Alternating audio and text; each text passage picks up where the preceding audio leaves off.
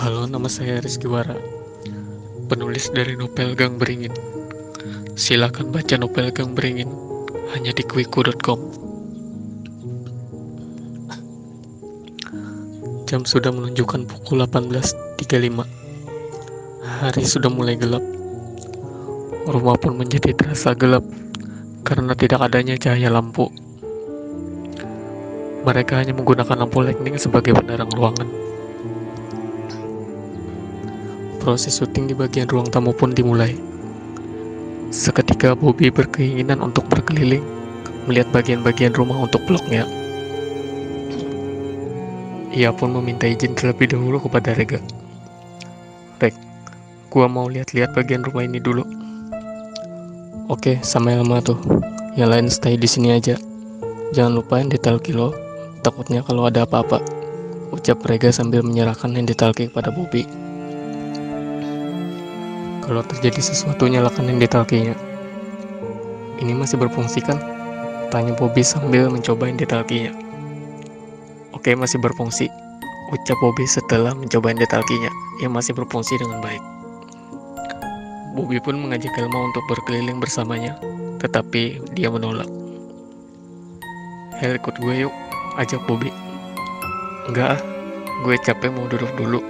Lu sendirian aja dulu ya. Hmm, Oke deh.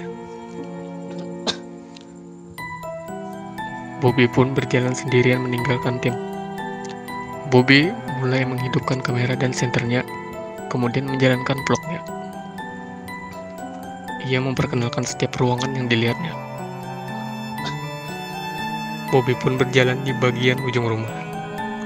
Kemudian ia melihat ruangan seperti dapur. Lalu ia memasuki ruangan tersebut.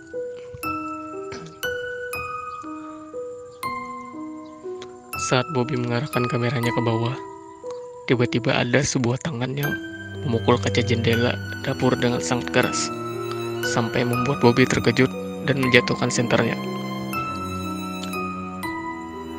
Bobby pun kembali mengambil senternya yang terjatuh dan mengarahkannya ke kaca jendela dapur.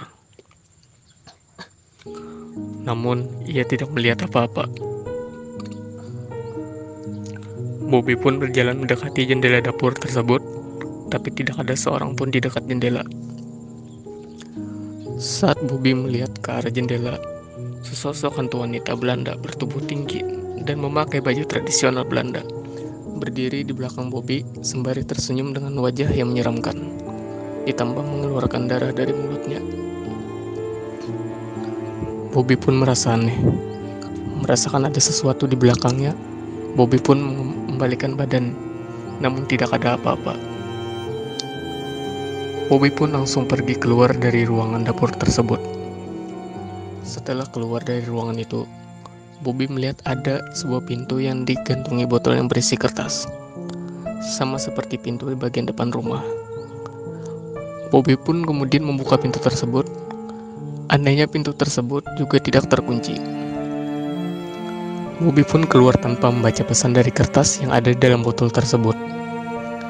Pikirnya isi pesan dalam kertas itu sama saja seperti yang ada di pintu depan tadi. Bobby tidak menyadari bahwa pesan yang diabaikannya tersebut akan menjadi malapetaka bagi ia dan teman-temannya. Setelah keluar, Bobby pun menutup pintunya. Setibanya, setibanya Bobby di luar, dia melihat banyak sekali rumput tinggi yang menghalangi jalannya. Bobby pun berjalan lurus perlahan. Setelah keluar dari rumput tinggi itu, Bobby melihat empat buah rumah yang terbuat dari kayu. Rumahnya pun tampak masih bagus.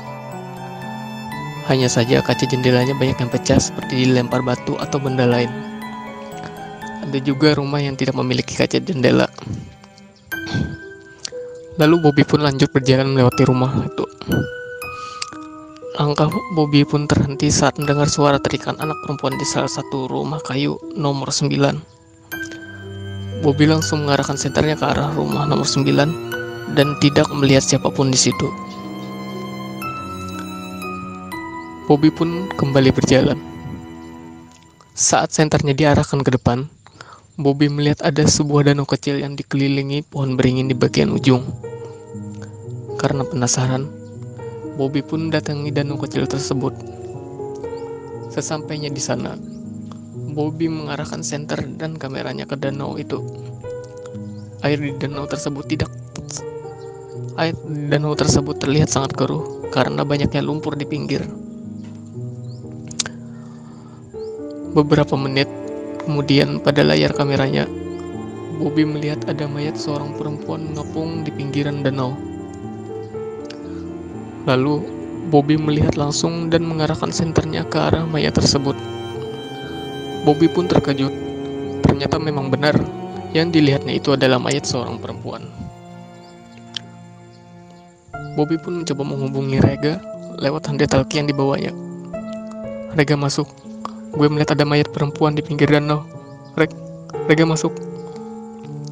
Hobi berulang kali menghubungi Rega, tetapi tidak ada jawaban. Setelah dicek, ternyata handytalkie yang dibawanya tiba-tiba rusak. Padahal saat dicoba masih bagus. Aneh, perasaan tadi masih bagus. Ucap Bobby kebingungan. Lalu Bobby berlari untuk memanggil teman-temannya di dalam rumah untuk membawa mayat tersebut ke tepi danau. Bobby pun kemudian berhenti dan berubah pikiran. Dia pun kembali ke danau dan ingin membawa mayat itu sendirian ke tepi danau. Kemudian Bobby meletakkan kameranya yang masih merekam dan topi topi topinya di tepi danau.